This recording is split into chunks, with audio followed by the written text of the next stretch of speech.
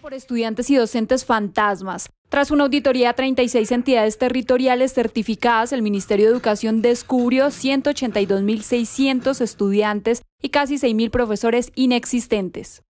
Encontramos que 5.955 profesores no existen. ¿Qué quiere decir que no existen? Que fuimos, al, que aunque aparece nuestra nómina el profesor, cuando vamos al colegio, el profesor no está en el colegio y en su carpeta no aparece ninguna excusa para que no esté en el colegio.